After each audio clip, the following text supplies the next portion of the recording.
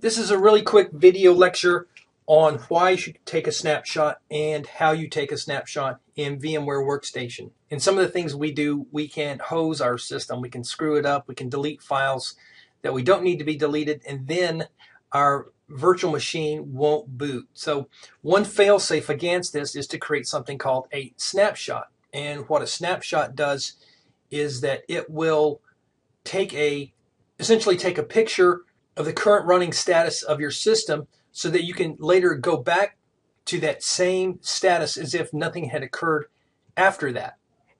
And we do that up here through the VM menu down to snapshot and you see that you've got take a snapshot and snapshot manager here. Let's look at snapshot manager. And it says, notice that it says you are here. So essentially, I don't have a snapshot in here which means that if I go in and I do something uh, that I shouldn't to the system, and I'll do that in a second to show you how this works, is that there's nothing I can go back to. Is that I've hosed my system, so I essentially have to reinstall it. So what we're going to do is we're going to take a snapshot right here, and we can name this anything we want. I'm going to name this February 23rd. We can add a description down here if we need to. We can take a snapshot. And in a second here, notice it says you are here, and here's our snapshot. And so we can close this.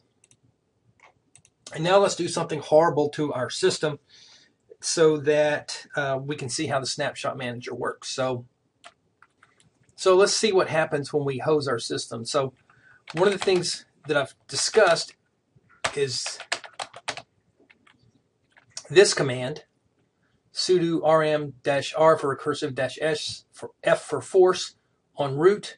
This is a very dangerous command. Fortunately, some of the newer versions of Linux have added this fail-safe to it, and even that doesn't work. So you can still hose your, hose your system by working on, uh, let's say, the etc directory. Now we can do this, let's see what this does we have no etc directory. Okay, that's not good. We can't get that back. Forensically, we could probably go in and recover all the files, but we don't have several hours or a day in order to go back and do that. So let's go ahead and let's reboot and see what happens. Uh, we'll halt. Oh, this is good. It's actually indicating that it doesn't even know who we are now. Why? Because that information is kept in the etc directory and we've deleted that. So let's just say I've really screwed up. Let's go back and let's restart. So it looks like I'm hosed here. I'm literally stuck and it won't let me do anything because I removed that directory. So I'm just going to shut down the guest. Let's see if it's going to allow us to do that. Okay, so it's shut down. Let's restart it and let's see what happens.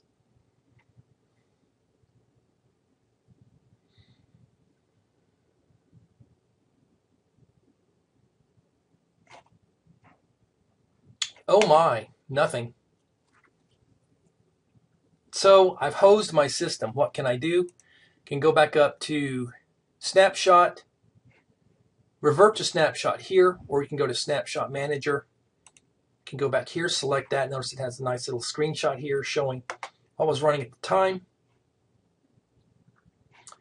And we can either select go to, or we can go back up and select either revert to snapshot here. By restoring the snapshot, the current state will be lost. You want to restore February 23rd? Yes, I do.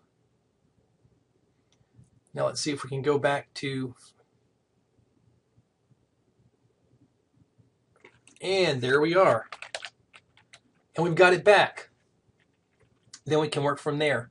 So what I would suggest you do, especially if you've got a lot of work in being done in here and you want to save that work is that once a week or you know however so often go up to VM snapshot and take that snapshot and name it appropriately by date or by whatever uh, by the course number and date so that you can always go back and revert to a snapshot in case you do something horribly wrong with your system.